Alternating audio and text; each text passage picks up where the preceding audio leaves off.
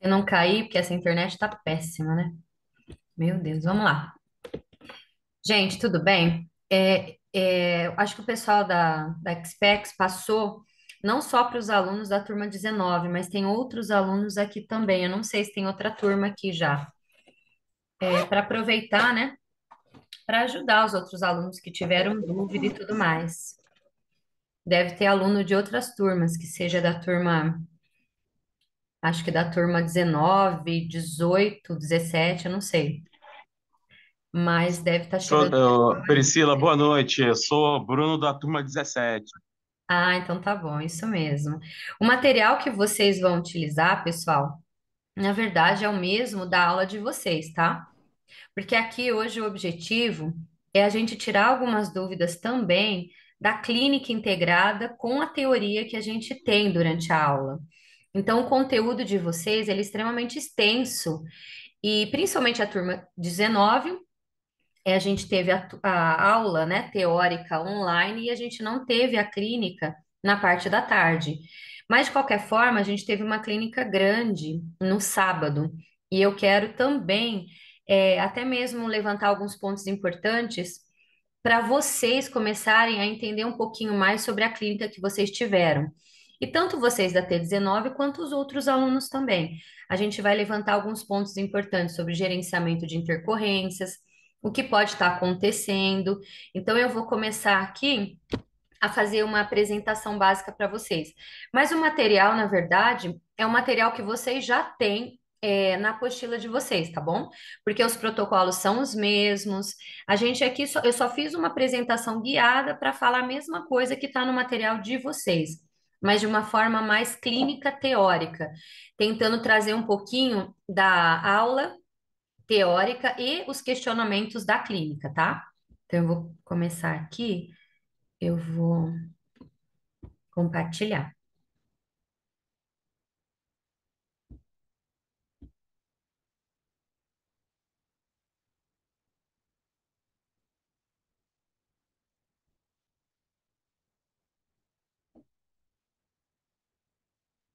Vamos ver se.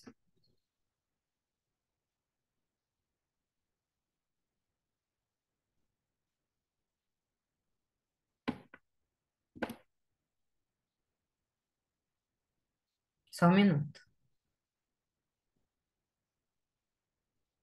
Vocês estão me vendo, né? Só eu, não a tela.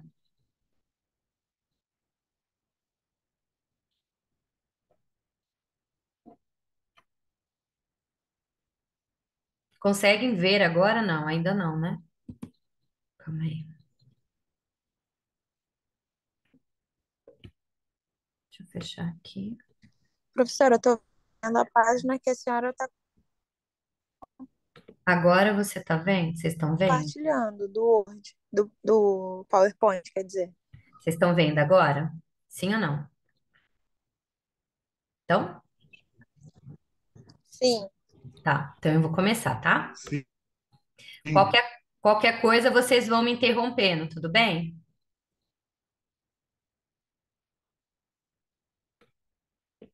Então, vamos lá. Então, a gente vai falar um pouquinho sobre a nossa teoria, que é muito grande nesses três dias que a gente tem de teórica e clínica. Tentar pegar os pontos importantes para trazer para vocês para uma realidade. Muitos, assim, depois da minha aula, fica assim, professor, é muita informação. E como que eu coloco isso no dia a dia? Como que eu faço para precificar? Como que eu faço, para gerenciar as intercorrências? O que que eu tenho que fazer? Eu tenho que ter um laser, eu não posso, eu preciso ter um laser, ou eu posso trabalhar sem laser. Como que eu posso já começar a trabalhar? Como que eu posso agregar esses protocolos no meu dia clínico? Então, isso vai ser o mais importante. É vocês agora, a gente vai estar conversando um pouquinho sobre como que eu posso gerenciar esses protocolos de gerenciamento de pele no meu consultório no dia a dia. Como que agora eu vou vender para os meus pacientes, bem como também evitar qualquer problema, porque a gente vai falar muito aqui também sobre algumas intercorrências que podem acontecer, que elas já são realmente é, algumas intercorrências previsíveis. Lembra quando eu falei para vocês que a intercorrência, ela só é intercorrência a partir do momento que você não informa para o paciente o que pode estar acontecendo, como, por exemplo, urticárias, pruridos, alergias maiores. Tudo isso, se a gente estiver informando para o paciente, ela não vai ser intercorrência. Mas também existe outras intercorrências inerentes ao próprio protocolo, procedimento que pode estar acontecendo. Mas a gente vai estar falando isso aqui, tá? Então, quando a gente fala, né, eu vou deixar uma frase aqui para vocês. A vida só dá asas para quem não tem medo de cair.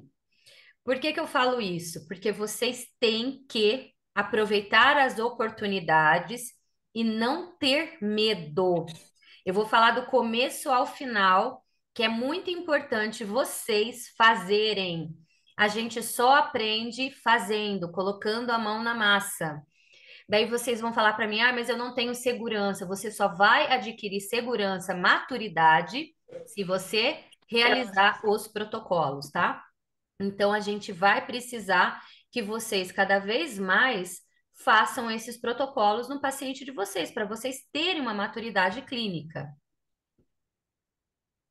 Então, qual que vai ser o nosso conteúdo aqui? A gente vai falar um pouquinho sobre as ferramentas de diagnóstico, sobre a cosmetologia home care, uma revisão geral dos protocolos de peeling, microagulhamento, da própria laser terapia que vocês têm no conteúdo de vocês.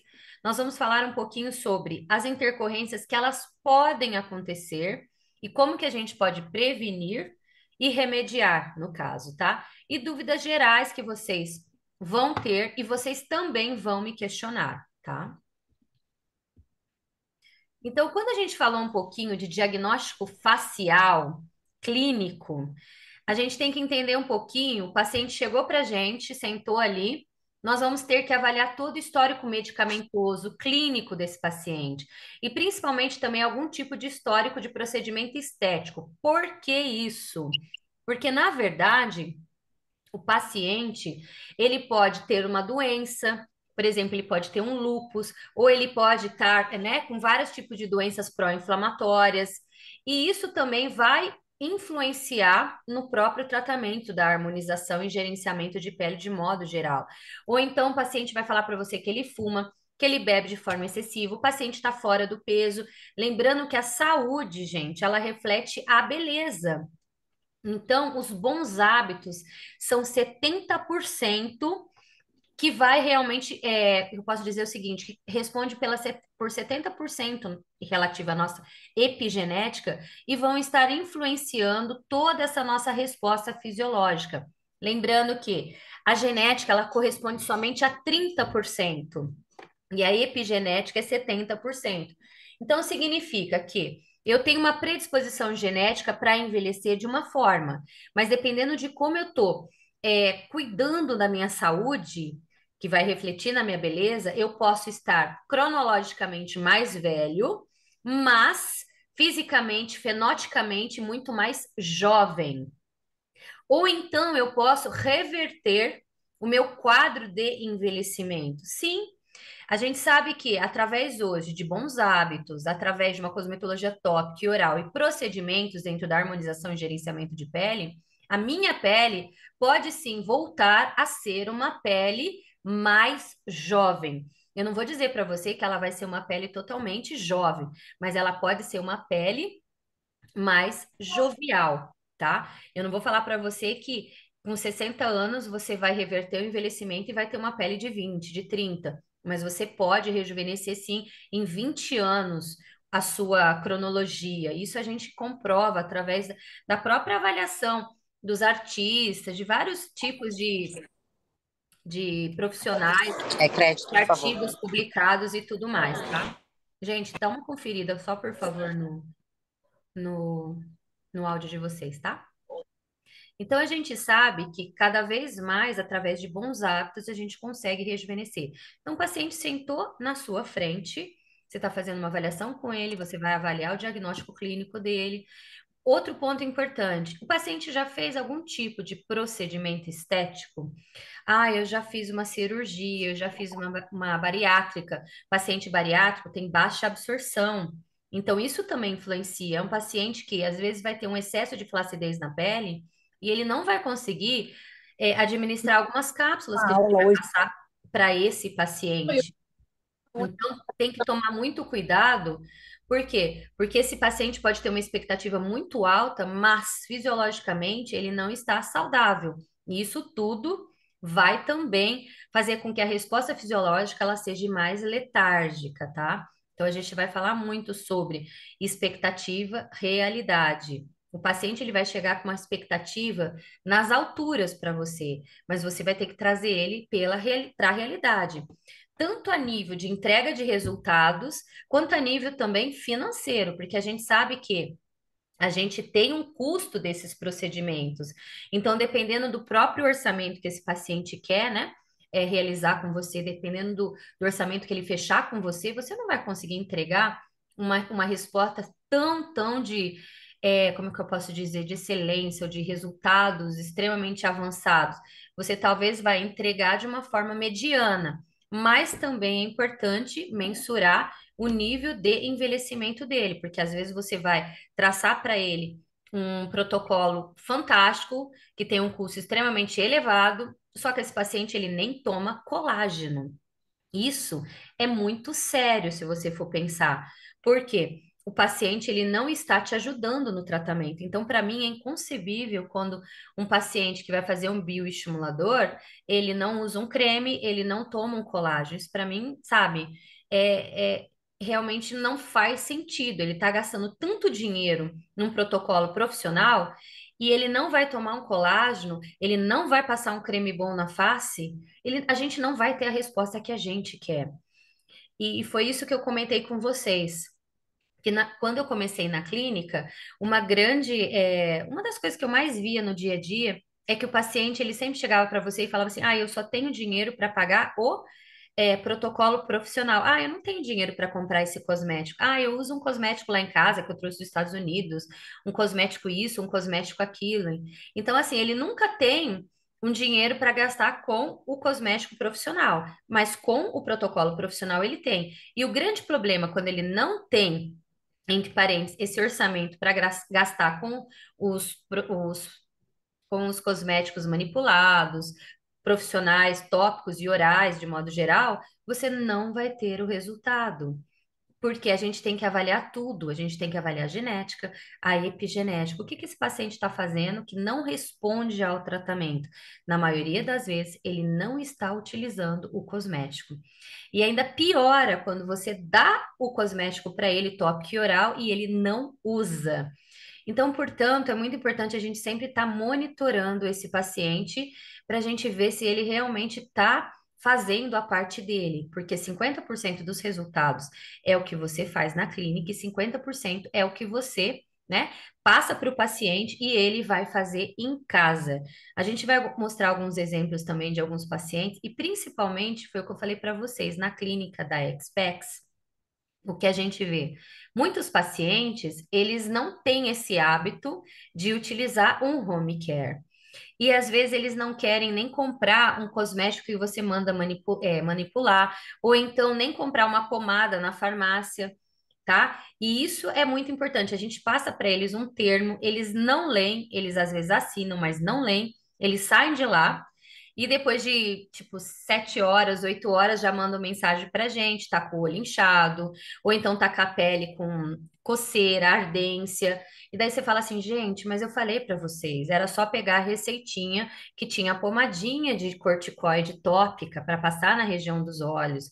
Ou então era só tomar o antialérgico de 12 em 12 horas ou de 10 em 10 horas, dependendo do tipo de antialérgico. Ou então a prednisona, um predicin, 20 miligramas de 12 em 12 horas. Porque é normal, reações alérgicas a peeling é normal acontecer. E foi o que eu falei. Se você fala isso para o paciente, que o olho dele vai inchar, que ele vai ficar, às vezes, né? Se ele tiver bolsinhas na região dos olhos, pode ser que essas bolsinhas se sobressaiam, que ele vai ficar com, com o olho bem inchado, vai ficar com uma sensibilidade muito grande, uma ardência muito grande na região dos olhos, porque ele está saindo da clínica com retinóico nos olhos. Então, esses óleos, eles vão ter um processo pró-inflamatório. E por que que a gente está colocando retinóico na saída deles da clínica? Porque vai estimular um rejuvenescimento na região dos olhos, além do clareamento, tá? Então, a gente a gente é, recebe muitos, né, muitos questionamentos dos próprios pacientes, fala assim, ó, é muito comum isso. Ah, eu acabei de fazer aí peeling com vocês. Nossa, meus olhos estão coçando muito, estou muito irritada. Nossa, meus olhos ficaram pior do que quando eu cheguei aí. Então a gente fala, calma, esse procedimento é normal. Essa sua queixa é normal. Você vai ficar inchada, você vai ficar horrorosa. A sua pele vai começar a melhorar depois de 7, 10 dias. Mas se você está com urticária, se você está com alergia, a gente vai te dar um medicamento, tá? Tópico e um oral. E quando as meninas fazem, é, ele, é, elas passam termos para eles assinarem e tudo mais, lá está escrito já. Então, assim, tudo isso está escrito, mas eles não leem. E elas perguntam ainda: você tem alergia e tudo mais? E também, quando eu estou fazendo essa triagem com os pacientes na maca, com vocês, eu sempre pergunto: é, você tem uma alergia maior e tudo mais? Se o paciente fala para mim, ah, eu tenho uma alergia, então, eu vou passar uma receitinha com uma pomadinha chamada propionato de clobetasol ou então uma dexametasona. Por exemplo, no sábado, eu acho que eu fiz umas sete receitas e ainda sobraram, acho que algumas pacientes, talvez, né, sejam pacientes que eu já tenha tido, eu já talvez eu já tinha ido embora da clínica, mas algumas pacientes já é, enviaram mensagem que estava com os olhos enormes e tudo mais, me mandaram mensagem no Instagram. Eu falei, fica tranquila, é normal. Então, assim, gente, não é para vocês se assustarem, ok? Isso é um procedimento normal que pode acontecer. Então, é muito importante a gente avaliar esse histórico medicamentoso, histórico de procedimentos estéticos para avaliar alergia, para avaliar queloide, cicatrizes hipertróficas, é, HPI, hiperpigmentação pós-inflamatória. Eu vou mostrar depois um caso de uma paciente que ela foi na clínica, ela fez o protocolo, ela falou que estava usando um cosmético de uma doutora, né? De uma dermatologista. A gente falou para ela utilizar o home care, ela não utilizou o home care. E ainda, eu acho que pior, ela utilizou o home care da médica, que era um ácido. E a pele dela ficou pior. Então, a gente precisa gerenciar esse dia a dia, principalmente ainda quando é paciente é, modelo, na, na especialização é pior ainda, porque eles não querem mesmo gastar, às vezes, com home care. Por isso que hoje em dia, dentro da nossa prática clínica, a gente não faz peelings extremamente agressivos, porque já fazendo os peelings básicos, a gente já tem problema. Por quê? Expectativa do paciente. E foi o que eu já comentei com vocês. Quando o paciente chega, a gente já pede para ele assinar um termo se ele não levar o home care também, tá? Então ele tem que estar tá ciente que se ele não utilizar um creme adequado, se ele não, não fizer a forma certa, ele pode ter intercorrências. E que a gente está eximindo de qualquer responsabilização se ele não utilizar da forma adequada. Inclusive, a gente sugere o uso dos kits, dos, dos meus próprios kits, e também eu coloco formulações em prescrição. Eu pedi para a Ariadne deixar pronta também, caso o paciente fale, ah, eu não quero levar o kit da doutora Priscila. Tem lá alguns cosméticos que eu coloquei para eles como sugestões, cosméticos de é, industrializados, tipo da La Roche, da Rocha, alguns cosméticos bons que não vão ter problemas, porque eu não passei nenhuma prescrição é, cosmética de farmácias de manipulação, porque eu já tive problema, tá? É, uma paciente uma vez não levou o meu home care, eu passei uma formulação para ela, o, o cosmético não poderia ter fragrância e teve fragrância, e a pele dela empipocou toda, então eu falei assim, olha, então eu já vou colocar algumas formulações aqui que eu conheço que são boas e deixar assim como uma segunda opção do paciente. Se ele não utilizar nada, ele está assinando e ele está ciente que ele não vai ter o resultado que ele quer, bem como também ele pode ter intercorrências, tá? Só que o buraco é mais embaixo. O paciente às vezes não usa o que deve ser utilizado e ainda entra em contato com a especialização falando que não gostou do procedimento e tudo mais, e aquele paciente que pode dar problemas maiores.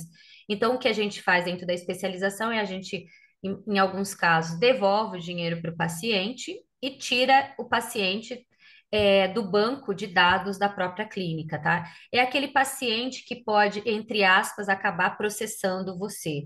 E para a gente não ter esses problemas maiores, a gente acaba devolvendo o dinheiro do peeling, tal, esse e aquilo, e o paciente não é mais chamado para nenhuma clínica, tá? Então é mais ou menos por aí, só para vocês entenderem. No nosso dia a dia, nós temos termos adequados para a gente trabalhar. E então, né, se o paciente tiver algum problema, você tem seguro profissional e você está fazendo todo o acompanhamento desse próprio paciente para até certo ponto falar qual é o tipo de responsabilidade que você tem para com ele. Se você está prescrevendo uma formulação e o paciente não vai formular essa formulação, não tem dinheiro, não quer, whatever, e fez o protocolo com você e você teve uma intercorrência, ele vai chegar para você e vai falar assim: olha, minha pele está manchada. Você vai falar assim para ele: bom, mas você não está utilizando cosmético e tudo mais, tal. Ah, eu não tive dinheiro para comprar e tudo mais. E o que, que acontece? A responsabilidade é sua. Você vai acabar comprando esse cosmético e dando para o seu paciente utilizar, para você não ter problemas maiores. Isso que acontece na maior parte dos casos, tá? Então, devido a tudo isso, por isso que eu adotei essa prática clínica. O paciente sempre acha que tem que levar vantagem. Então, como que eu faço? O paciente chega para mim, faço a avaliação, eu falo para ele: olha, você tem que fazer no mínimo de três a cinco sessões, o valor é X e você vai ganhar essas cápsulas, vai ganhar esse cosmético tópico para você utilizar aí durante dois meses de tratamento, três meses de tratamento, tá? E a hora que acabar, você compra comigo esses produtos. É mais ou menos por aí, pessoal. Porque a partir do momento que ele acha que ele está ganhando, mas na verdade está tudo incluso ali no pacote, ele vai começar a tomar e ele vai ter resultados. A partir do momento que ele vê que ele tem resultados, e você vai deixar claro para ele que os resultados são inerentes a essa parceria entre protocolos profissionais e cosmetologia home care, ele não vai parar de utilizar. Então precisa, a gente precisa catequizar o nosso paciente. Vocês estão me escutando certinho?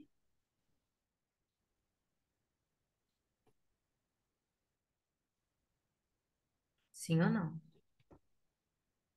Então, gente. Sim, Pri, tá tudo certo. Ah, tá, é que deu. Ficou instável aqui. Tá bom, vou continuar. É, então, quando eu falo para vocês um pouquinho também de harmonização e hormonização, como assim, doutora? Vamos lá. Quando a gente fala de harmonização, é muito importante a gente entender também como que tá os hormônios do paciente. Se o paciente ele entrou na menopausa e está com déficit hormonal, gente, os tratamentos não vão ter resposta fisiológica também. Então, se você faz a modulação hormonal, perfeito. Mas se você não faz, você também pode estar tá encaminhando para um médico, para um médico de longevidade, para trabalhar toda essa. É, todos, todos esses hormônios que são extremamente importantes, porque eles impactam diretamente na saúde, que vai refletir na beleza, tá? Então, essa parte de harmonização e hormonização, cada vez mais elas estão o quê? Integradas, tá? Então, quando a gente faz o diagnóstico, nós vamos olhar para o paciente, vamos limpar a pelezinha dele, e a gente vai começar a enxergar um monte de coisa. Por que que a gente fala dar uma limpadinha na pele do paciente? Porque principalmente mulher utiliza um quilo de maquiagem, principalmente quando tem melasma, quando tem olheiras. Então a gente tem que remover para enxergar. Daí você vai lá na pele do paciente, nossa, ela é bem manchadinha, hum, ela tem bastante olheira, né, em toda essa região dos olhos, e principalmente aquela olheira panda que a gente tem aqui da coloração. Daí o paciente chega para você e fala assim: ah, eu quero fazer preenchimento na olheira.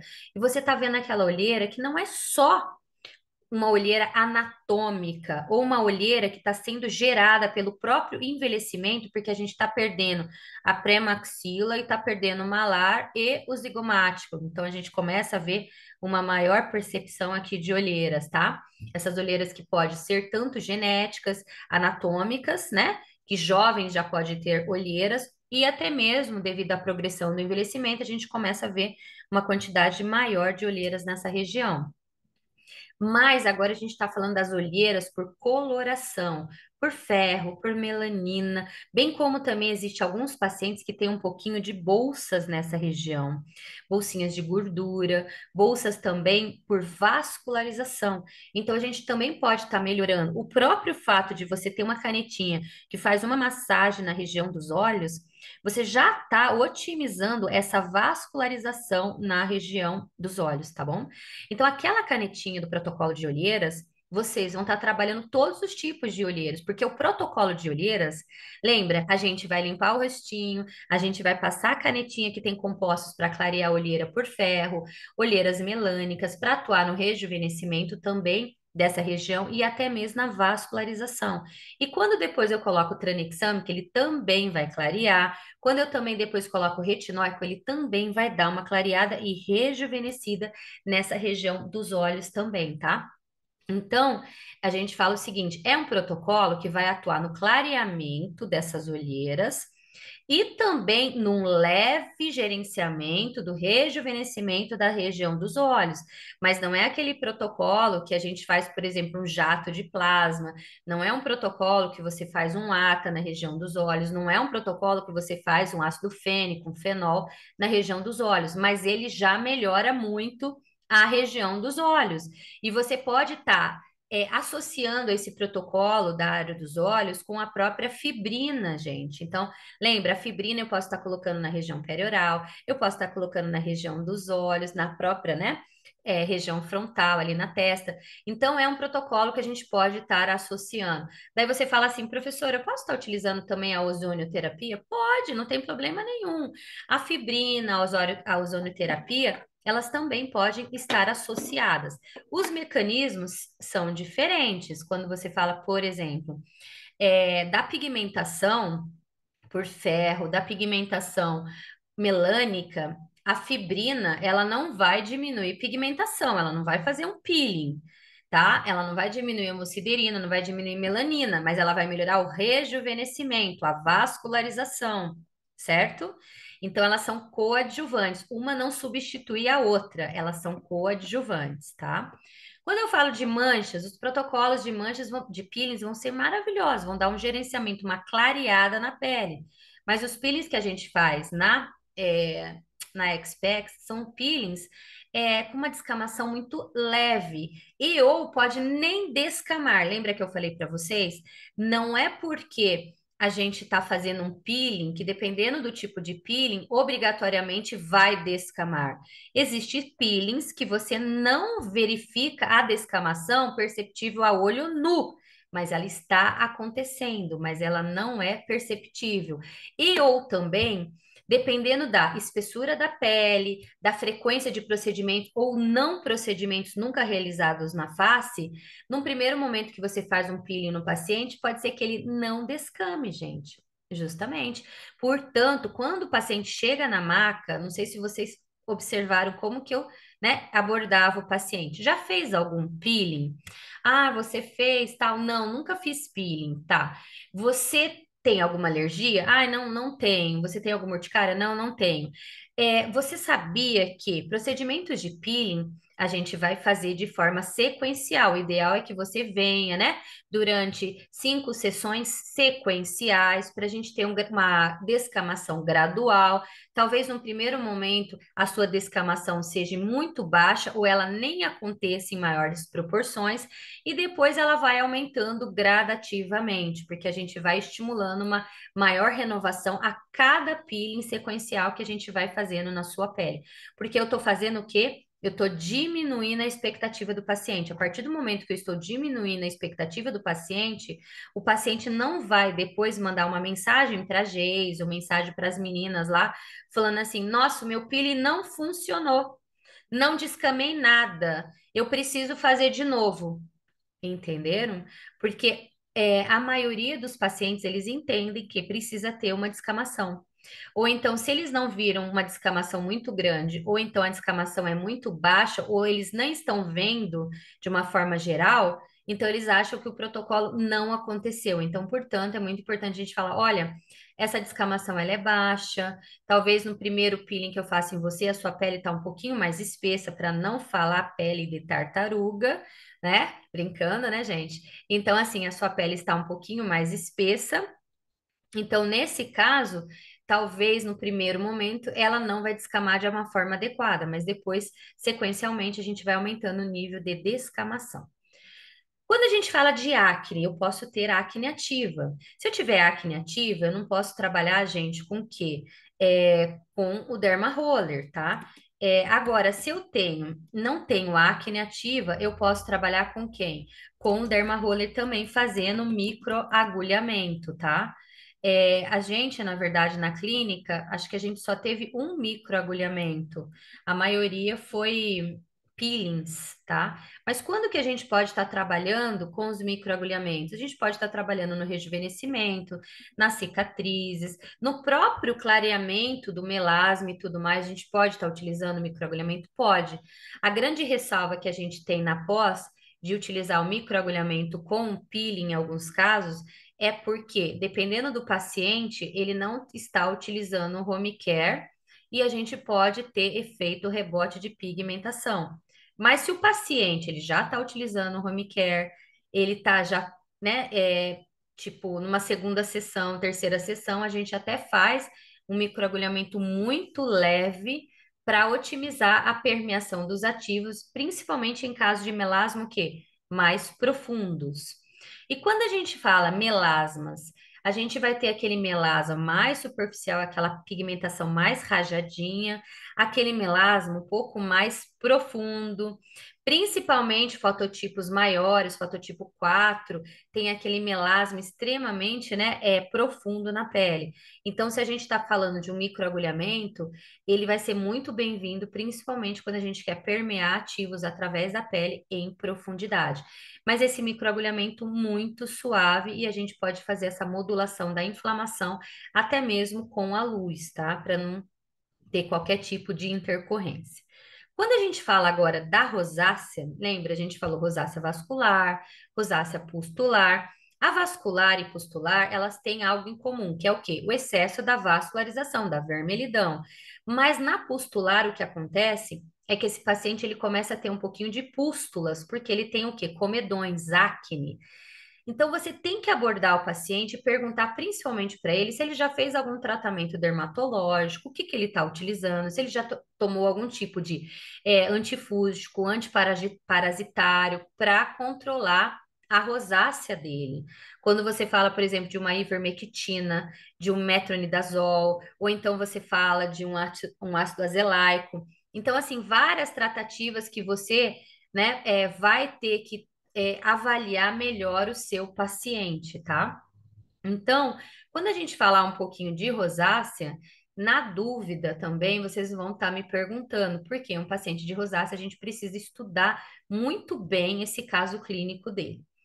Quando a gente fala do melasma também, um paciente de melasma, ele deve ter uma, uma avaliação mais criteriosa, porque todos os fatores epigenéticos, solares, hormonais, eles vão interferir no melasma, tá, gente? Mas a gente tem um kit de tratamento de melasma fantástico para vocês é, não terem problema nenhum. Em relação à rosácea, eu fiquei muito feliz porque a semana passada eu fui banca de uma aluna minha também de doutorado na Univap, eu sou co-orientadora dela, e a gente fez um trabalho muito bacana utilizando o Skin Clean, desculpa, o Melon Clean e o Hydra Balance. E, e só o grupo controle, que só utilizou o Melon Clean e o Hydra Balance, deu 90%, 99% quase, de eficácia na melhora da condição da rosácea. Então, assim, fiquei super feliz. Eu já sabia, já, já sabia que ele já tinha uma super atuação, mas tudo a gente tem que comprovar cientificamente. Então, assim como eu sei que o Melon Clean é ótimo para o melasma no kit de gerenciamento, ele também é muito bacana para gerenciar o quê? A rosácea. E a maioria das vezes a gente pode encontrar rosácea com melasma. Por quê? Rosácea e melasma, elas estão juntas, integradas na tríade da vascularização. Então, você pode encontrar numa pele com rosácea o próprio melasma e vice-versa, tá? é, a pele envelhecida e fotoenvelhecida. A gente tem que entender as características de uma pele envelhecida e de uma pele fotoenvelhecida. A pele envelhecida é uma pele extremamente fina. Uma pele fotoenvelhecida já é uma pele um pouco mais concisa. E essa pele envelhecida, é geralmente flácida e tudo mais, ela é muito fininha. Então a gente tem que entender como que a gente pode estar otimizando as funções de proteção dessa pele, uma elevada hidratação, é como que a gente pode estar melhorando até mesmo para essa pele ela não ter é, possibilidade nenhuma de fissuras, de, de rasgos, né? Até mesmo quando a gente fala de um microagulhamento. E numa pele fotoenvelhecida, é uma pele totalmente desestruturada. Aí a gente vai ter que pensar sim em bioestimuladores, em ácido hialurônico, mas a gente talvez tenha que utilizar técnicas de gerenciamento de pele um pouco mais hards, que a gente fala, um pouco mais agressivas, porque a gente precisa é, degenerar e regenerar. Como assim? A gente precisa degradar tudo, tudo aquele colágeno, sabe, que está em elastose, todo aquele processo é, de degeneração superficial da pele para a gente reconstruir uma pele nova. É isso que o pessoal faz muito em peelings profundos, até mesmo com ATA profundo, o próprio fenol também, porque você precisa é, trabalhar todo esse processo aí de, de tirar o velho e reconstruir, né? E levar o novo, um processo totalmente de degradação e regeneração tecidual de fora para dentro e agora também de dentro para fora, quando você fala dos próprios bioestimuladores, porque, por exemplo, uma pele envelhecida, eu tenho que redensificar a minha pele, mas é uma pele extremamente fininha. Uma pele fotoenvelhecida é uma pele que eu tenho marcações grandes, linhas, aqueles sulcos, aquelas linhas periorais extremamente marcadas. Aí a gente tem que trabalhar redensificando a pele de dentro para fora, mas também de fora para dentro. E aí que entra esses peelings um pouco mais invasivos, agressivos. Quando a gente fala da cosmetologia, eu passei para vocês e mandei acho que o folder, depois, se eu não mandei os- todos os folders, eu mando depois de novo para vocês, tá? Desculpa a correria, eu cheguei aqui também, nossa, é, fim de ano, a clínica tá uma doideira, mas ainda bem que eu consegui hoje falar com vocês. Então eu mando depois para vocês também, tá? Mas o mais importante aqui é vocês entenderem que a gente tem que trabalhar a beleza de dentro para fora e de fora para dentro. Então, a cosmetologia tópica e oral, elas são, eu posso dizer para vocês, importantes de forma conjunta.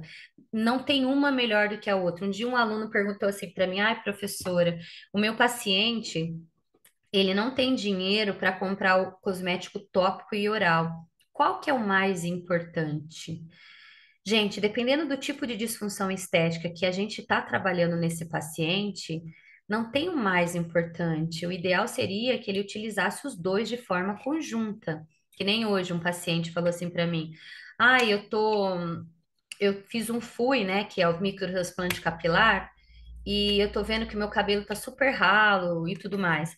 Daí eu falei para ele, eu falei, fazia dois anos que eu não havia, né?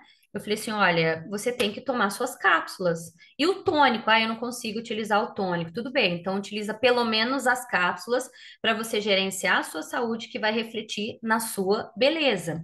Agora, quando a gente fala, né? Eu tô falando de couro cabeludo, mas quando eu tô falando de pele, você tem que utilizar um cosmético tópico bom. Porque você tem que diminuir a interação dessa radiação solar, tudo bem, protetor solar, bacana. Mas você tem que entender que a pele, até certa idade, você está modulando, né? Proteção, hidratação e, e para você diminuir, né, todo aquele passivo. Mas dependendo de uma idade, você também, além de hidratar, além de proteger, além de higienizar, você também tem que estimular a redensificação do seu colágeno. Isso mesmo, por isso que a gente falava, né, ou ainda falam-se em algumas linhas, por exemplo, da Natura, do Boticário, do Avon, que dependendo da idade que você tem, você deve utilizar o Cronos é, 30 a mais, o Cronos 50 a mais, Cronos 60 a mais, porque você entende que, dependendo de qual idade, você não deve só hidratar a pele, você deve hidratar e redensificar, ou então você tem que hidratar e redensificar, mais regenerar.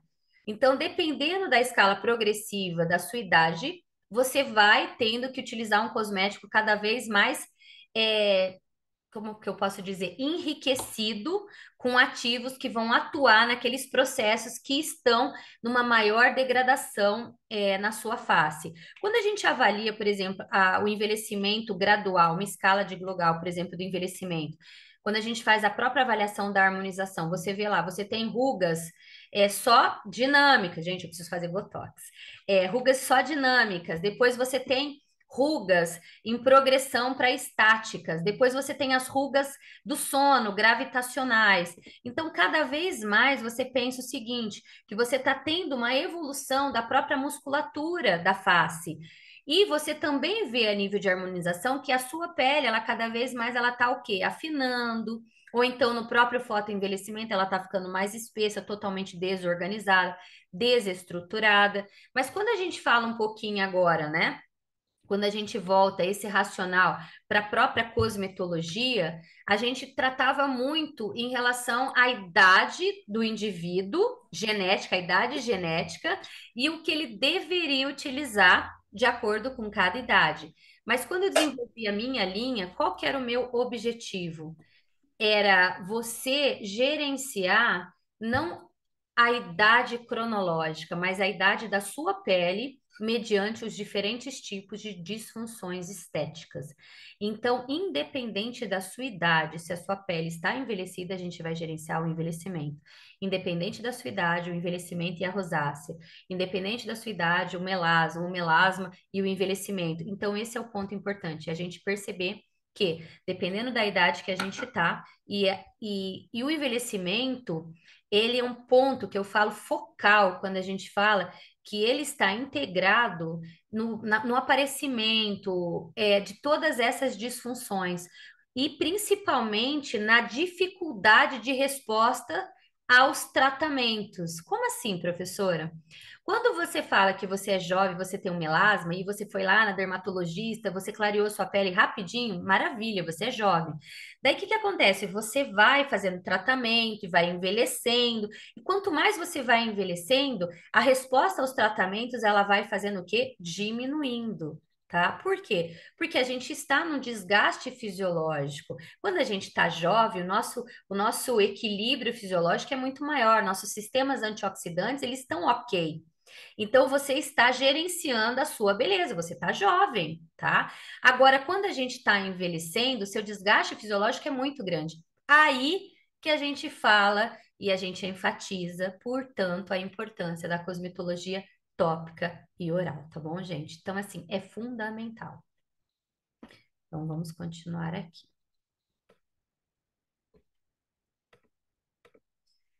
Então, quando a gente fala de prevenção, otimização de resultados, lembra, no pré-procedimento, o paciente chega para você, ele vai fazer uma consulta com você, você fechou o orçamento com ele, deu o cosmético para ele, ele vai começar a utilizar. Depois de 15 dias ou uma semana, ele já volta para você e para fazer um procedimento. Quando você fala de melasma, quando você fala de um paciente né, negro, fototipo elevado, que mancha muito fácil, o ideal seria que você não fizesse o protocolo de peeling dentro desse, tipo, depois de uma semana, mas que você fizesse após 15 dias, no mínimo, de utilização do home care tópico e oral. O que acontece muito, o, o profissional às vezes receita a prescrição para o paciente, o paciente não toma ou toma depois de 15, 20 dias que ele já está fazendo o protocolo. E daí a mancha vem mais forte ainda. Então, efeito de rebote, de pigmentação, tá? Voltando. Daí fez o procedimento no dia, vai embora com uma máscara, removeu a máscara. Pode ficar com uma sensibilidade na região dos olhos, na região das pe da pele, da face de modo geral. A gente pede para o paciente, dependendo do nível, né, de coceira, de irritabilidade, passar uma pomadinha corticoide, que pode ser uma dexametasona, que pode ser uma um corticoide tópico, um propionato de clobetasol na região dos olhos, na região da pele, e um creme de hidratação e regeneração. Por quê, professora? Se eu colocar muito corticoide na, na pele do meu paciente também, vai ter um limite de indução do processo cicatricial. Quando você é, coloca muito corticoide ou usa muito corticoide na pele do seu paciente, não cicatriza, tá? E, portanto, por isso que eu sempre, é, sempre faço, né? No primeiro dia, às vezes está muito irritado, só o corticoide, e depois eu já começo a associar o corticoide junto com quem? Com o Hidrabalance. O que que tem o Hidrabalance? O Hidrabalance, ele é um creme hidratante? Maravilha, mas não é só hidratação, ele tem fatores de crescimento. E isso, só o fato dele ter fatores de crescimento, vai me ajudar fazendo com que ocorra o quê? A quimiotaxia dos fibroblastos para fazer o quê? Colágeno, gente. Esse é a razão. Eu poderia falar assim, ah, utiliza, por exemplo, um cicatricur, utiliza um, um Bepantol, entendeu? Mas o problema é que isso é, são só cremes é, de elevada hidratação? Sim, além de que, dependendo do creme, eles são extremamente oleosos. Ah, eu utilizo um Cicaplast? Beleza, mas o Cicaplast é o quê? É só um silicone. Ele vai fazer o quê? Só evitar a perda de água para o meio externo, mas ele não vai prover hidratação. Quando eu falo de um cicaplast e tudo mais, ele é ótimo para cicatrização no pós-operatório, principalmente para evitar o quê? Evitar cicatrizes. Mas pós-peeling, ele não seria a forma adequada, porque pós-peeling eu preciso de alta hidratação e regeneração, tá? Então, só elucidando. Depois o pós-imediato. Ah, depois de, 40, de 24, 48 horas, você vai lá passando essa pomadinha, remove a pomadinha, só deixa o creme de hidratação. E o pós-procedimento tardio, em torno de uma semana, a pele está descamando e você só vai utilizando novamente o creme que vai estimular esse processo de regeneração é, na pele, até você de novo começar a utilizar o seu kit cosmético. Como assim, professora? Então é importante você entender que lá no pré-procedimento, quando eu fiz a consulta, eu avaliei, por exemplo, que o paciente precisava utilizar o kit de melasma. Nesse kit de melasma, ele tem o Nutri-Skin, que é rejuvenescedor, o Melanclean, que vai modular a vascularização, a formação de manchas, e o Hydrabalance, que é o regenerador, tinha uma bisnaguinha também, é, que vai trabalhar o excesso de pigmentação noturna, que vai ser aplicada de forma noturna, e o creminho da região dos olhos, certo? Porque todos eles ali têm um pouco de ácido e pode causar uma sensibilização se eles forem utilizados no pós-procedimento, no pós-procedimento imediato e no pós-procedimento tardio. Então, a única coisa que a gente utiliza no, no pós-procedimento imediato e tardio é somente o Hydra Balance. Depois que passou essa semaninha, a gente pode depois utilizar normalmente todo esse kit de tratamento, tá, gente? E aqui eu faço mais um parêntese. Tem várias pessoas que confundem, né? Quando a gente fala da necessidade de fazer um preparo dessa pele, os profissionais acham que o preparo dessa pele ele tem que ser feito, por exemplo, 15 dias antes, utiliza um ácido ou então a formulação de Kligman, que é hidroquinona, mais algumas outras coisas, né? Corticoide e, e também o retinóico, 15 dias antes, faz o procedimento e não precisa utilizar mais nada. Não é assim, pessoal. Na verdade, o ideal seria que se você está fazendo um tratamento de pigmentação da pele, você tem uma formulação que você vai utilizar para a vida inteira. Isso mesmo. Por quê? Porque você precisa evitar diminuir a formação da melanina na sua pele. Porque vamos lá, você compra esse kit de tratamento, depois você para de utilizar esse kit de tratamento, você vai ter mancha de novo, porque primeiro você bloqueou, daí parou a formação de melanina na sua pele. Você estava utilizando, fazendo os protocolos profissionais, utilizando a bisnaguinha, você removeu o passivo de pigmentação. Mas se você não bloquear definitivamente a formação de melanina, a pigmentação vai novamente aparecer na sua pele. Então, portanto, depois de um tempo de tratamento, existe também os cremes que você vai utilizar na manutenção. O que, que os meus pacientes fazem? Aqueles pacientes que utilizam, por exemplo, o kit de melasma, então eles vão gerenciar o melasma aí durante cinco meses, mais ou menos, né? Porque a gente faz cinco a seis meses, que são em torno aí de cinco a dez sessões, ou até 15 sessões, um tempo maior.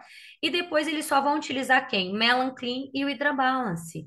E vão manter é, essa pigmentação, essa vascularização, hidratação, regeneração sob controle da pele. Então, isso é muito importante, que a gente tem que sempre trabalhar com um cosmético no dia a dia. É para sempre esse uso de cosmético que principalmente vai bloquear a pigmentação. Agora, o ideal é a gente utilizar ácido. Tem paciente que chega assim: ah, eu não vou utilizar nada disso, não, porque eu já uso retinóico no dia a dia, eu já tenho minha fórmula que eu tenho glicólico, mandélico na minha pele, eu já uso direto, não vou utilizar essa, essa formulação. O grande problema é que os alfa-hidroxiácidos, glicólico, mandélico, que vocês, né, é, viram na aula e tudo mais, eles são ácidos que vão ser utilizados de forma noturna. Eles vão fazer o quê? Eles vão remover essa pigmentação da pele. Existem alguns ácidos, principalmente, por exemplo, o próprio mandélico, ele também vai modular a tirosina, a tirosinase, a enzima tirosinase mas ele pode, com o tempo de uso frequente, assim como o ácido retinóico, levar uma sensibilidade maior da pele também, tá, gente? Então, o ideal é que você utilize, né, de um, um tempo geral, sempre um cosmético rico em vitamina C, alfarbutin, ácido código. Então, ácidos o quê? Ácidos fracos, tá bom? Bom. Então, aqui eu passei para vocês o, os kits, né? Na linha, depois eu passo o PDF certinho para vocês. E quando vocês fazem o diagnóstico da pele do paciente, é muito importante vocês avaliarem tudo. Ele tem olheira? Ele tem melasma com olheira?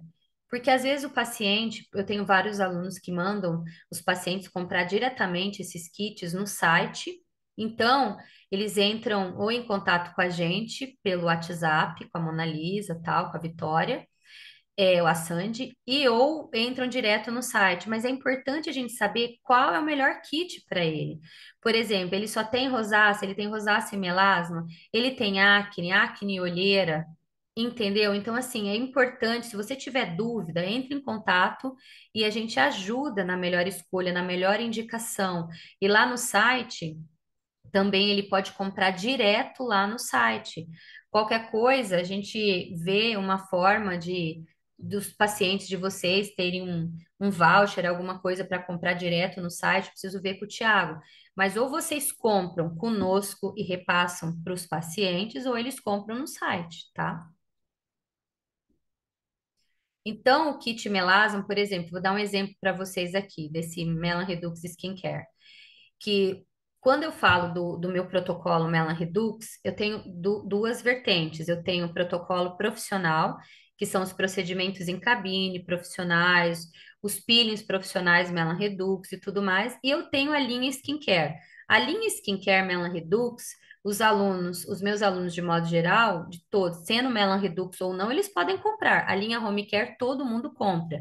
Agora, a linha profissional do meu método Melan Redux, daí é já para quem trabalha, né, com Melan Redux, porque eles são peelings mais invasivos, mais agressivos de um poder de descamação maior. E aqui a gente também utiliza até a tecnologia do ácido fênico e tudo mais.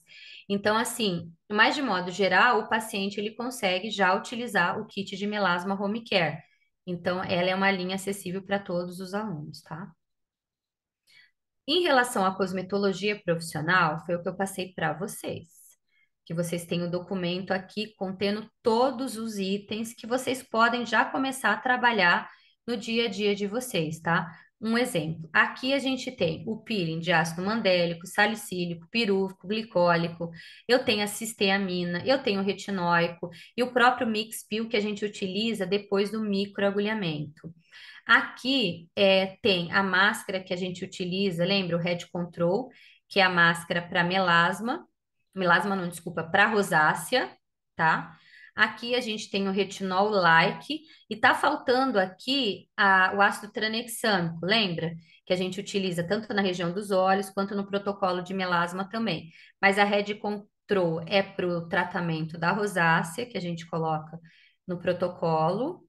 E a retinol like é o retinol que é similar ao ácido retinóico que está aqui no potinho, só que ele não descama, ele ele não promove uma descamação perceptível a olho nu, mas não significa que ele não tenha resultados, porque ele tem vários ativos que vão sim gerenciar o rejuvenescimento, o clareamento, a melhora da oleosidade da pele também, que é, são as características do ácido retinóico.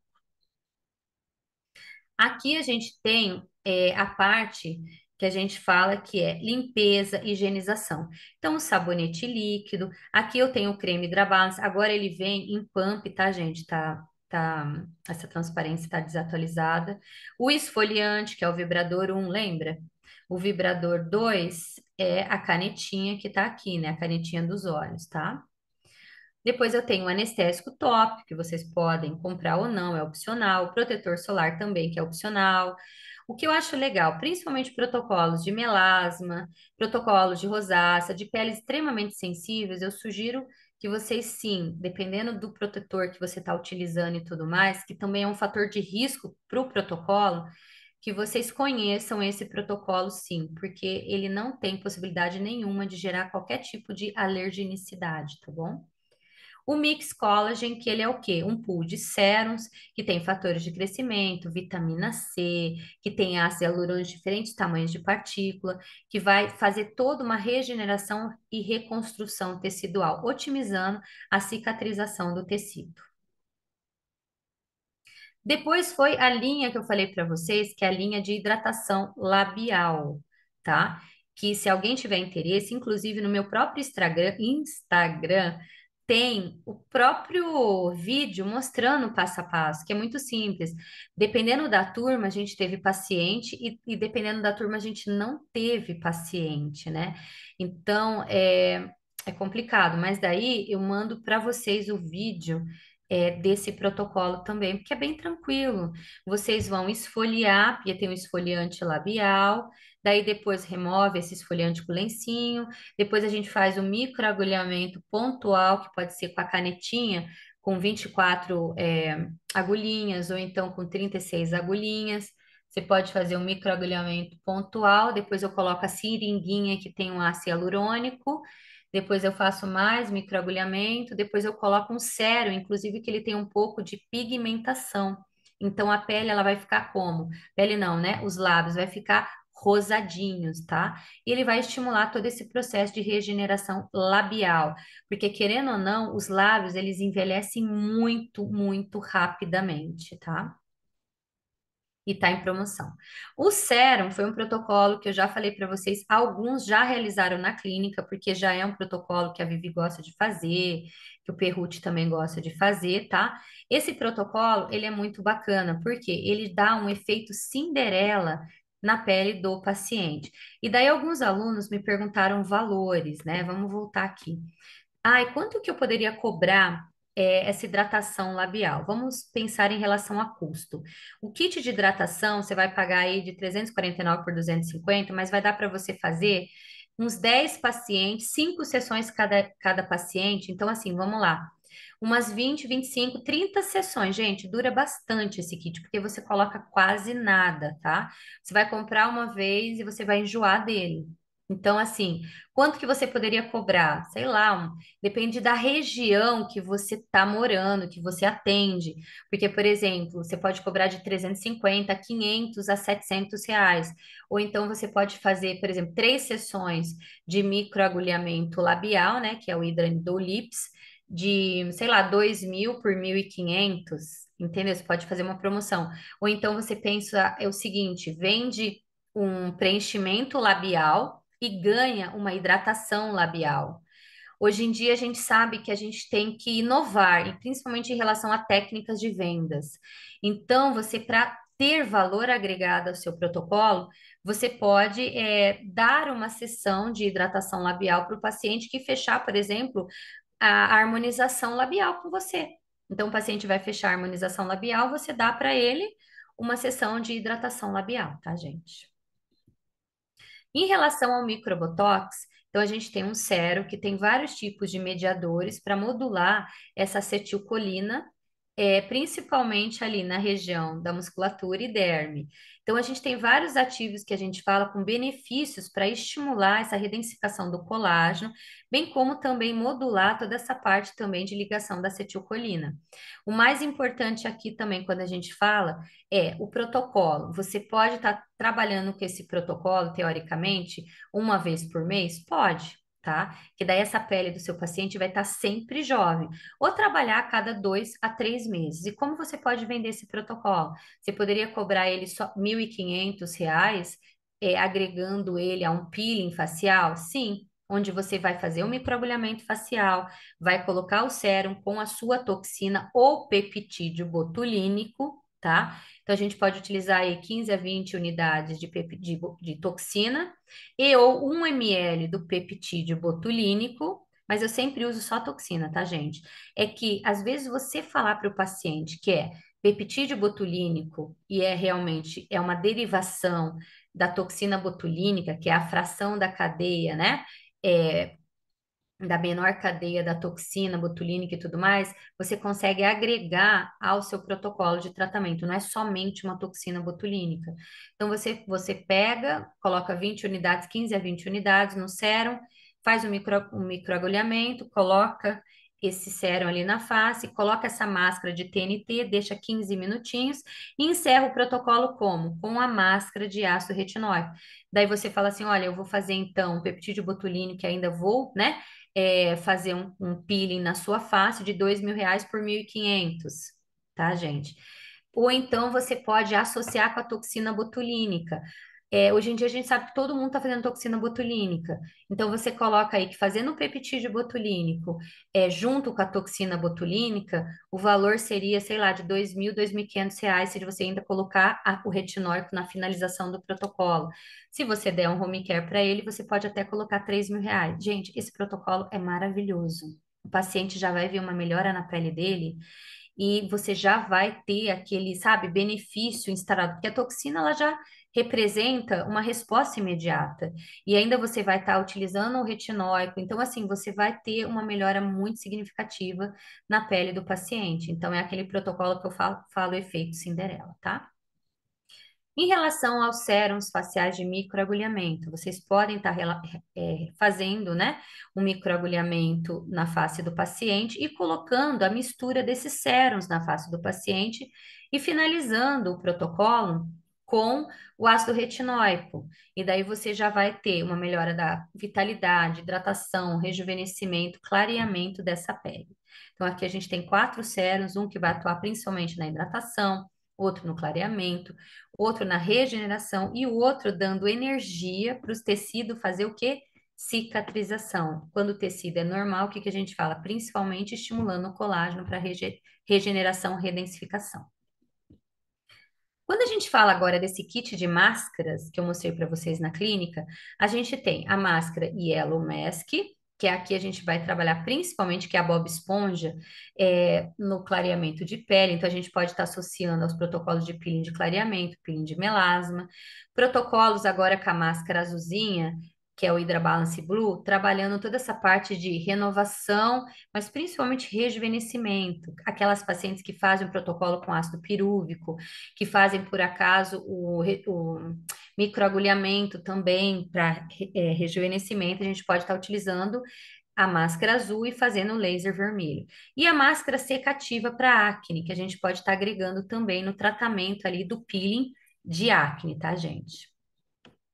Então, quando a gente fala dos protocolos que a gente tem dos peelings na clínica, a gente tem, então, o protocolo de olheiras, desculpa, a gente tem os protocolos de clareamento e rejuvenescimento da pele, que a gente vai utilizar o ácido pirúvico, lembra? Perfil de paciente, 40 mais, uma pele envelhecida, foto envelhecida, que está precisando fazer um bioestimulador de colágeno, que está realmente flácido ali. A gente pode higienizar a pele, faz a esfoliação, aplica a caneta na região dos olhos, aplica o ácido salicílico, remove, aplica o ácido pirúvico, lembrando que sempre a gente está removendo o ácido e neutralizando com água, ou então com o próprio soro fisiológico, removendo esse ácido da pele. Depois que a gente removeu esses ácidos da pele, a gente vem com uma máscara de hidratação, faz uma boa massagem, depois vem com sérum, que tem fatores de crescimento, vitamina C, ácido hialurônico, e finaliza com quem? Com o protetor solar, se o paciente não quiser descamar, e ou então com o ácido retinóico, tá? Então, é o pirúvico. Aqui a gente tem um protocolo de clareamento, que a gente utiliza é salicílico, glicólico, mandélico. É um paciente mais jovem que quer dar uma clareada na pele. E esse, e esse protocolo, a gente aumenta ele no protocolo de melasma, que daí no protocolo de melasma, a gente ainda adiciona quem? A cisteamina, 15 minutos, e depois que a gente removeu todos os ácidos, aplicou a máscara Hydra Balance, que vai hidratar essa pele, Adiciona o tranexâmico, o colágeno e o retinóide, tá, gente? Então, pacientes com melasma superficial, dérmico, hormonal. Lógico que pacientes que têm um melasma hormonal, um melasma mais profundo, dérmico, esse protocolo, ele só vai dar uma melhorada qualitativa ali superficial da pele a gente não consegue gerenciar um melasma em profundidade, então é muito mais superficial, dando uma melhor, uma melhor qualidade ali, principalmente no melasma superficial, epidérmico. Quando a gente fala aqui de um protocolo de peeling químico, para principalmente para a área dos olhos, então, ah, o paciente só quer fazer região dos olhos. Então, a gente vai utilizar, higienizar, aplicar canetinha, depois remove tudo, depois de 15 minutos, passa o hidrabalance, passa o tranexâmico, o sérum de colágeno e o retinóide. Mas, gente, sempre tente vender, vender o protocolo completo, não só na região dos olhos, mas pode acontecer. Lembra aquela paciente que foi modelo? Ela só queria fazer o quê? Só a região dos olhos, tá bom? E principalmente o paciente que vem com olheira, ele vem com uma expectativa muito grande. E o que que vocês têm que passar para eles? Olha, tem que usar o home care, porque vários pacientes ali da pós é, depois de uma semana um, ou duas sessões de tratamento, falaram assim: ai, minhas olheiras não clareiam eu utilizo um home care que eu tenho em casa, que não sei o que, mas não clareia. E o grande problema também é que às vezes o home care que ele tem em casa, na maioria das vezes, não tem tio glicólico. E quando tem, às vezes, tio glicólico, dependendo do próprio cosmético que eles mandaram manipular, whatever, tem fragrância e pode levar a uma irritabilidade. Então, você pode estar tá diminuindo o ferro da olheira, mas o que, que acontece? Você pode estar tá aumentando a melanina na região dos olhos por excesso de inflamação. Então, utilizar o cosmético tópico Home Care no pós é muito importante. Em relação ao gerenciamento da acne, então a gente pode trabalhar sempre em todos esses protocolos, eu posso trabalhar o protocolo de olheiras associado, tá, gente? E aqui, quando eu falo de protocolo de é, gerenciamento da acne, eu vou utilizar o salicílico, vou utilizar o mandélico também, porque o mandélico vai ser importante também para clarear essas manchas dessa pele acneica, que existe na maioria do caso. Muitas pessoas fazem o quê? É, pacientes com acne, cutuca aquela acne, tá, gente? Então, aqui vai ser um protocolo bacana para acne, pele oleosa, poros abertos, manchas de modo geral na acne, tá? Na rosácea, a gente também vai higienizar a pele, aplicar canetinha, depois a gente remove tudo, a gente vai aplicar essa máscara calmante e aqui a gente vai associar quem, gente? A máscara que eu falo, né? O ácido tranexâmico junto com essa máscara Red Control, que é essa máscara que tem ácido azelaico, ferrúlico, que tem tranexâmico também, vitamina C, tem ácido azelaico, que para trabalhar principalmente a rosácea, tanto vascular, mas ela também trabalha a pustular, tá? E depois a gente finaliza com o próprio ácido retinóico. Quando eu falo de rosácea, quando eu falo de melasma, o retinóico ele não seria né, um peeling que a gente poderia sempre estar tá utilizando. Daí você fala, por quê? É porque o ácido retinóico em excesso, ele leva a uma vascularização muito grande da pele. Portanto, aqueles pacientes que chegam para você e falam, ah, eu utilizo o retinóico sempre de forma frequente, isso não é legal. Vocês vão olhar na pele dele vão ver o quê? Que é uma pele, às vezes, super fina, cheia de vascularização. Então, não é legal, porque é, esse excesso de ácido retinóico está deixando a pele pior. Quando a gente fala agora dos lasers, lembra que eu falei, a gente vai ter o laser pontual, ou então a gente vai ter, por exemplo, um laser de clusters, quando a gente fala dessas manoplas, que tem vários tipos de LEDs, que são os diodos emissores de luz, ou então a gente tem mais de um laser por manopla, onde a gente vai tra- trabalhando o quê? Áreas maiores, tá, gente?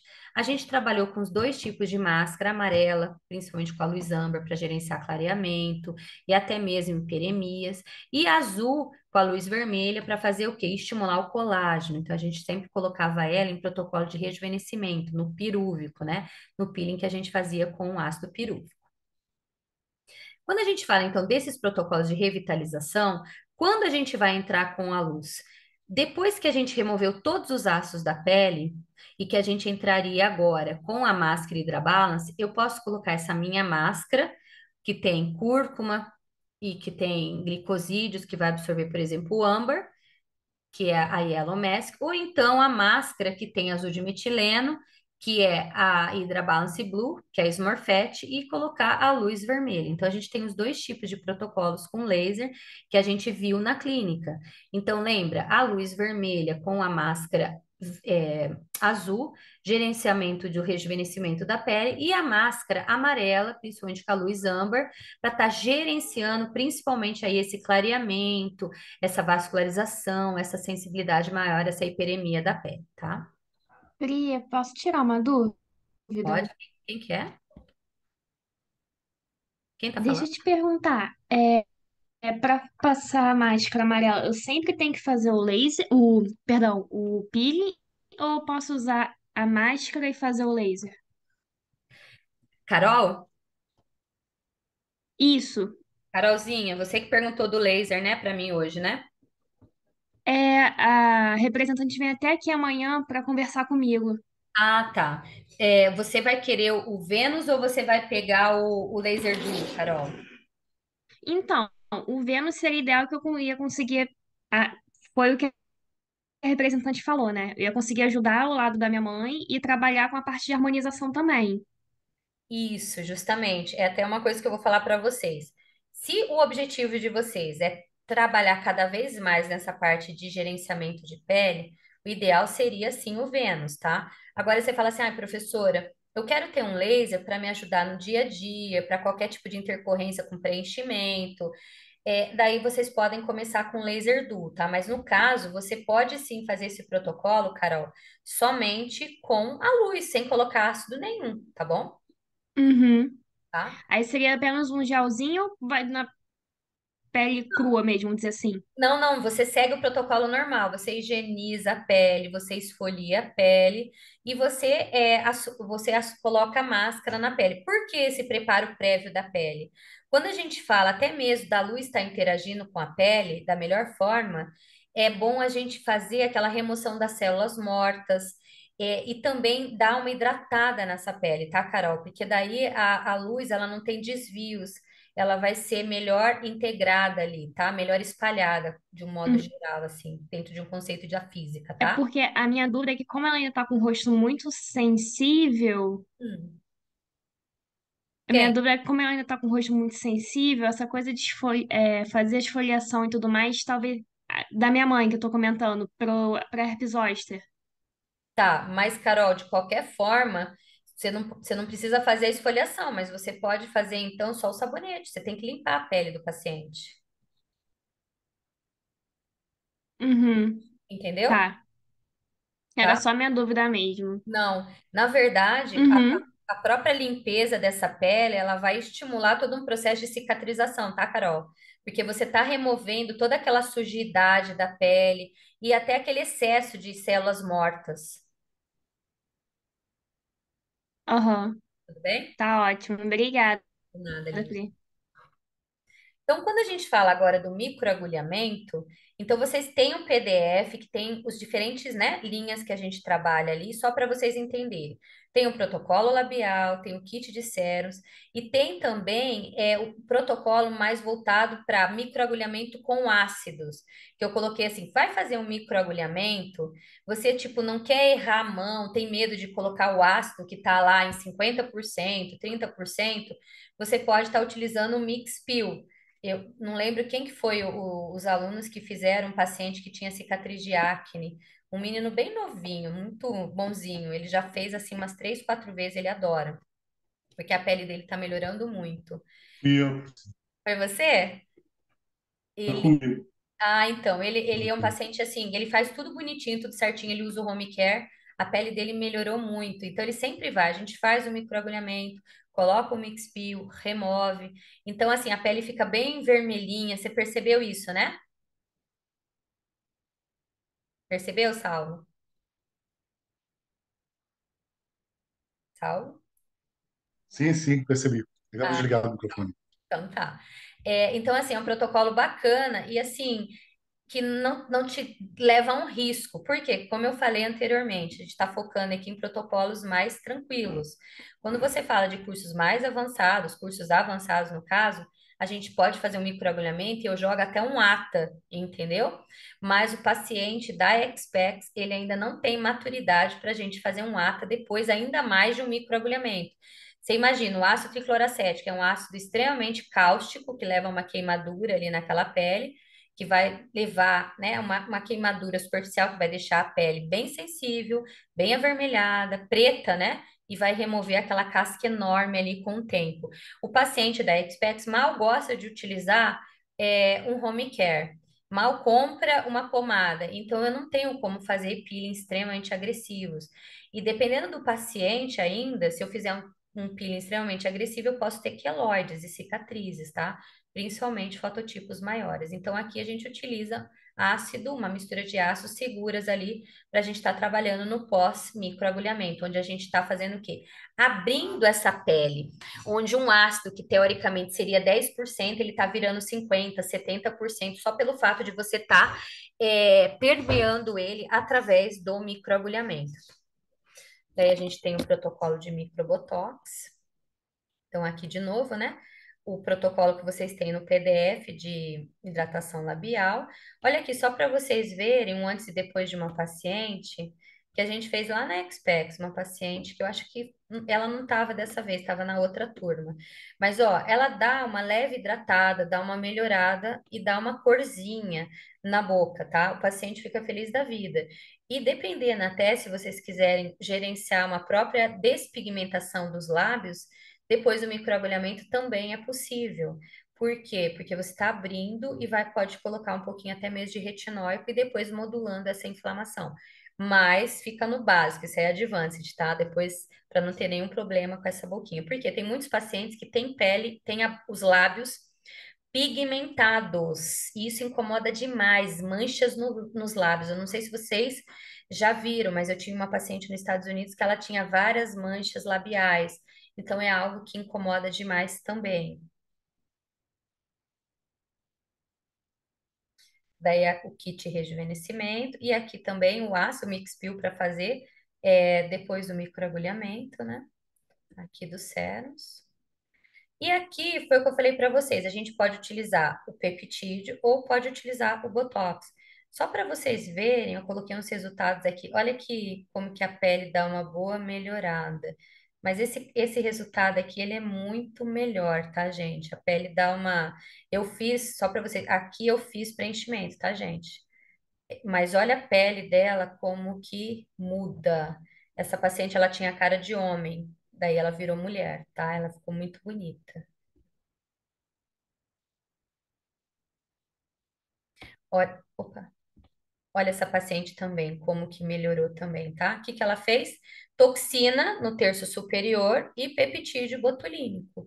E também junto o ela fez preenchimento labial? Não, ela não fez preenchimento. Ah, não, será que fez? Não, não fez não, tá, gente? É só aplicação de Botox e também a toxina botulínica da derma. Ela não fez preenchimento labial, tá? Essa aqui não. Só para deixar certinho para vocês. Ela fez um pouco do Melan Redux junto com o peptídeo e a toxina na derme. E aqui também, toxina, peptídeo e o Melan Redux. Olha como que dá uma boa melhorada.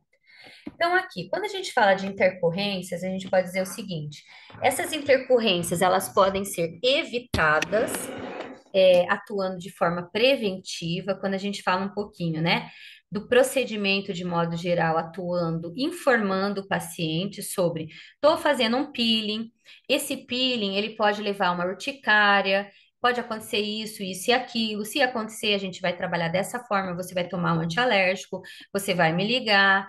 Entendeu? Então, assim, a partir do momento que você, né, passa todas as informações para o paciente, não é uma intercorrência. E você pode evitar maiores complicações, tá? Bem como também essas intercorrências podem ser tratadas através da farmacologia.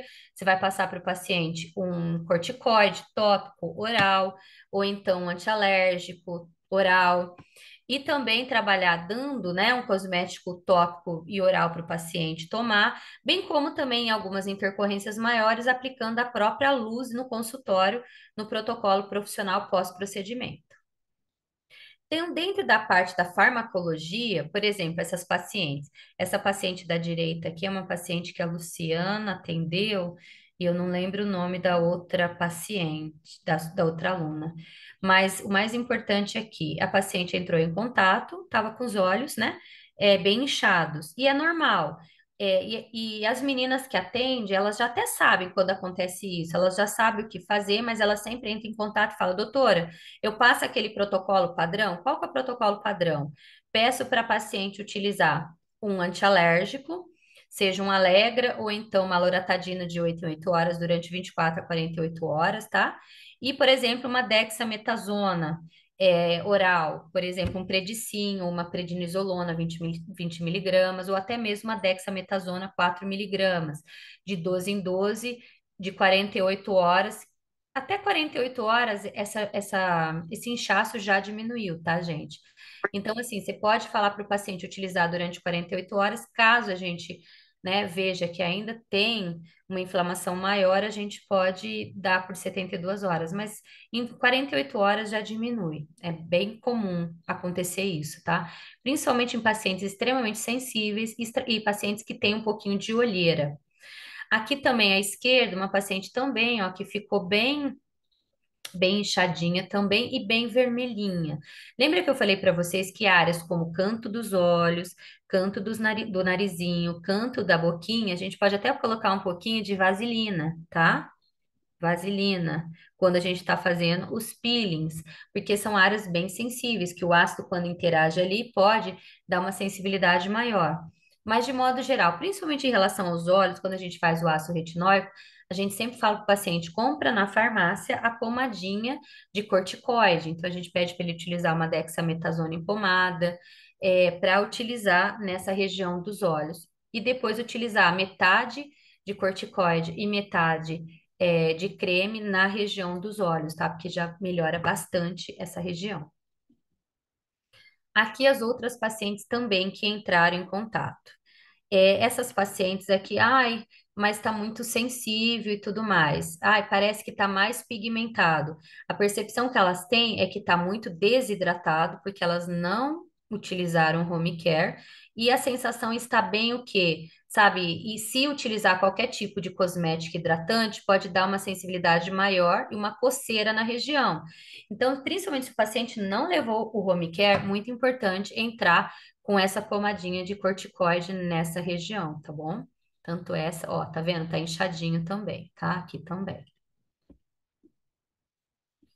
Em relação à cosmetologia, olha essa paciente, é aquela que eu falei para vocês, que ela fez a sessão do peeling com o laser, tá? E o laser âmbar. Olha como que ela ficou depois de uma semana.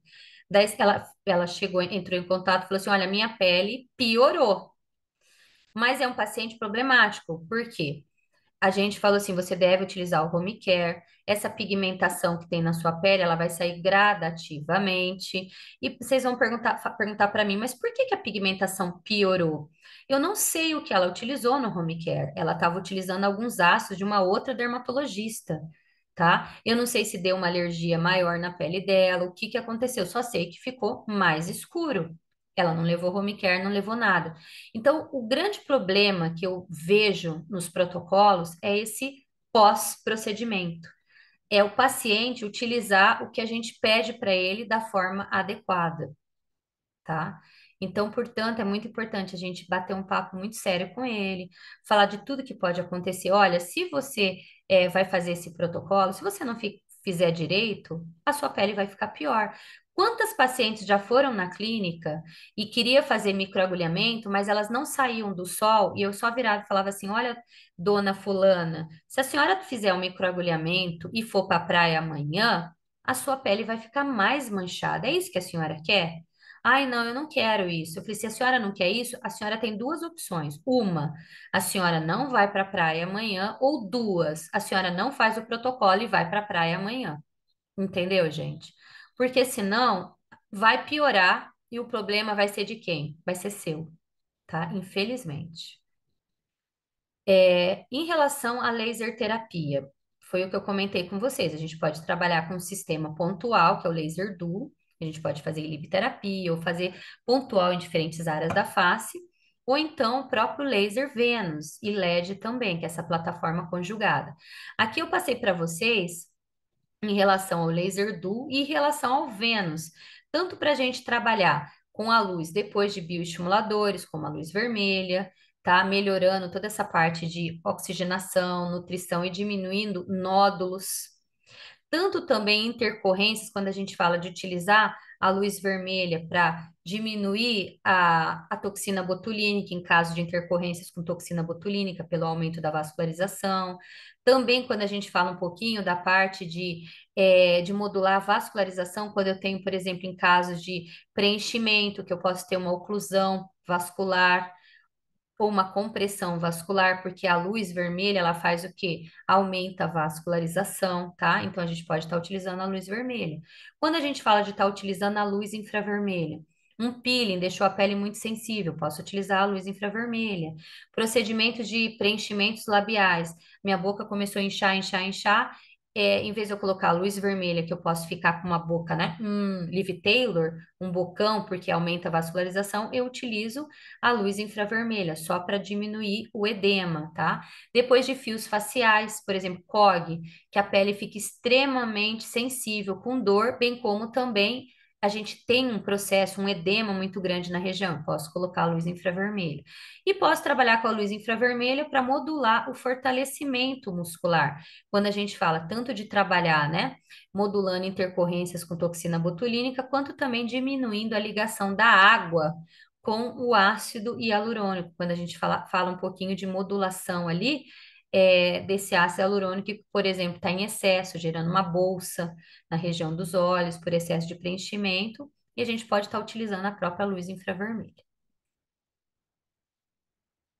Então, a gente pode estar tá trabalhando com a cosmetologia em laser terapia, por exemplo, em procedimentos de peelings, que eu tenho uma descamação maior e que às vezes o paciente não usa a cosmetologia adequada, não utiliza, não utiliza uma pomadinha para uma oclusão maior, e, por exemplo, fica machucado, como nesse caso. E se eu deixar essa pele vermelha e ficar sensível, vai ficar pior, porque você está removendo a mancha, mas se você deixar essa inflamação persistente, o que, que vai acontecer? Você vai manchar mais ainda a pele do seu paciente. Então, a gente pode utilizar uma cosmetologia, farmacologia, juntamente com a laser terapia. A mesma coisa aqui também quando a gente vai gerenciar, modular todo esse processo inflamatório e otimizar também a cicatrização. Procedimentos de peeling profundos, extremamente agressivos para a pele, você utilizar a laser terapia é extremamente fundamental, porque você modula a inflamação, bem como também você otimiza a cicatrização. Lembrando que quanto maior o efeito inflamatório, maior a probabilidade de você ter a formação do colágeno 3, gerando cicatrizes hipertróficas e até mesmo queloides. Então, o ideal é que a inflamação ela seja mínima, minimizando qualquer tipo de pigmentação na pele, bem como também qualquer tipo de sequela maior de cicatrizes inestéticas. Em relação à ilibiterapia, gente, é, eu passei para vocês. É uma, é uma terapêutica extremamente importante quando a gente fala um pouquinho de melhorar a oxigenação através desse aumento da vascularização, melhorar toda essa parte também de nutrição. Então, a, a elibiterapia ela vai ser extremamente importante para otimizar a nossa energia celular, a nossa função cognitiva, a nossa imunidade. A gente pode fazer um protocolo com a luz vermelha, até mesmo associando vermelho e infravermelho um protocolo de 10 aplicações, que pode ser semanais, ou pode ser duas vezes por semana, onde a gente vai trabalhar essa melhora do paciente. Lembrando que a gente pode fazer um questionário de avaliação de estilo de vida, perguntando o nível de ansiedade, de sono e tudo mais, e avaliar essa melhora é, após o protocolo de, de libterapia, após e durante cada sessão, né? Então, você pode monitorando a cada sessão essa melhora da, do sono, da ansiedade, vários fatores aí, e principalmente também uma melhora em relação aos índices cardiovascular, a própria pressão arterial, oximetria, que a gente pode estar também modulando. Aqui a gente faz, né, uma pergunta importante: quantas sessões eu devo vender para o meu paciente? Eu sempre falo que um programa de gerenciamento completo de pele e tudo mais, que envolve uma disfunção maior, quando a gente fala de um fotoenvelhecimento, de um melasma, de uma cicatriz de acne, da própria acne, de uma mancha, de uma rosácea, a gente pode vender de três, mas sempre deixar claro para o paciente que o ideal seria começar com cinco, mas você vende três, porque dependendo, né? É, do paciente, ele ainda vai ter uma, uma resistência muito grande de é, gerenciar a pele e não fazer uma harmonização. Então, você pode mesclar nesse começo os protocolos de harmonização com gerenciamento de pele. Mas deixar claro para o paciente que para ele ter uma resposta adequada, o ideal seria que ele fizesse 3, 5, 10, dependendo do tipo de disfunção estética que ele tem, e que você vai avaliar gradativamente essa resposta fisiológica. Por onde começar? Hum, daí o paciente chegou para você, ele tem, por exemplo, é, um melasma. O melasma, dependendo do tipo de melasma, eu também tenho que trabalhar com algumas técnicas de harmonização. E daí você fala para mim, ah, qual que eu começo? Eu começo com bioestimulador, eu começo com gerenciamento de pele? Você primeiro faz a consulta, faz a avaliação, avalia todo o histórico clínico, os exames desse paciente, já dá o kit home care top oral para ele tomar, faz, começa pela sessão de gerenciamento, no meio você faz um bioestimulador, depois você continua com o gerenciamento. Agora, se o paciente vem para fazer, por exemplo, rejuvenescimento, é, tratar o fotoenvelhecimento, você pode é, começar, por exemplo, com uma toxina botulínica, é, que já dá uma resposta rápida, um peptídeo botulínico, e depois fazendo gradativamente umas sessões de gerenciamento de pele e até mesmo o próprio bioestimulador de colágeno, tá? Então, aqui a gente tem que entender quais são os procedimentos que eu tenho dentro da harmonização botox, bioestimuladores, os preenchedores. Aqui também esqueci, né? Os fios, fios, oi, calma aí, fios faciais eu tenho PRF. Então, são vários procedimentos extremamente bem-vindos para gerenciar essa qualidade da pele. Lembrando que, né, é, algumas coisas importantes para você como profissional da harmonização. Uma centrífuga, um laser, tá? E também um kit de peelings para você já começar a trabalhar dentro do gerenciamento de pele. Então, quando eu falo de gerenciamento de pele, seja um peeling, uma canetinha, uma dermapen, tá? É, um derma roller, é, fazer algumas introduções, aí você pode estar associando vários tipos de protocolos, seja com laser, peeling, microagulhamento, próprio jato de plasma, associando várias práticas terapêuticas. Então, você pode começar pela harmonização, ou você pode fazer algumas sessões de gerenciamento de pele, daí você vai, né, realizando, por exemplo, um PRF, um bioestimulador, faz uma toxina botulínica e depois a cereja do bolo, que seria o quê? O preenchedor, tá? O preenchimento facial. E até mesmo, antes de chegar no preenchimento facial, fazer o quê? Os fios faciais.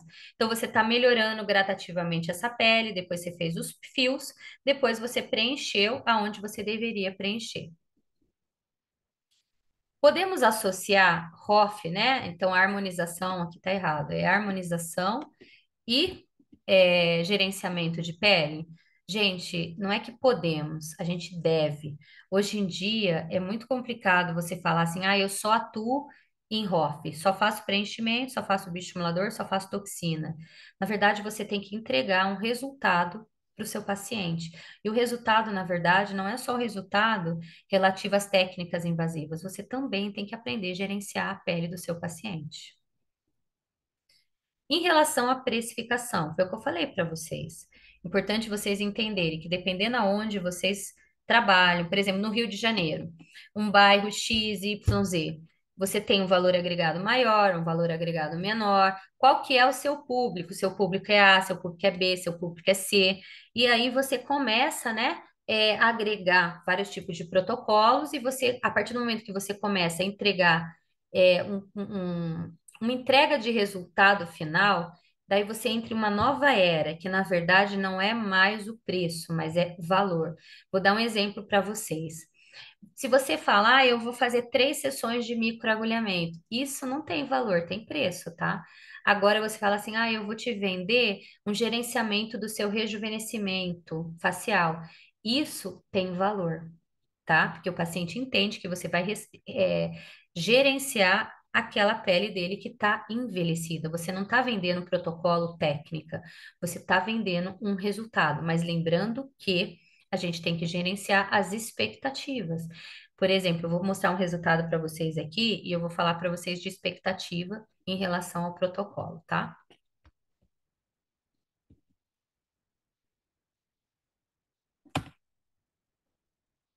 Calma aí, uma travadinha aqui.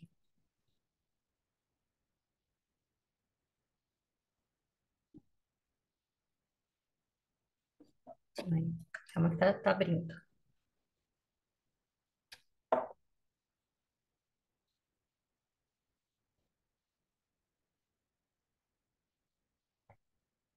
Então, assim, olha esse paciente aqui, depois eu concluo. Essa paciente é uma paciente fotoenvelhecida, tá? Ela tem uma expectativa extremamente elevada. Ela quer remover essas rugas, essas linhas da pele dela e tudo mais. Essa paciente, no antes, olha o antes e olha o depois. Você vai falar para mim, ela tem toxina botulínica é, na região frontal e na região dos olhos? Não, gente. Gente, tá me escutando? Sim ou não? Eu acho que eu caí. Caí, será?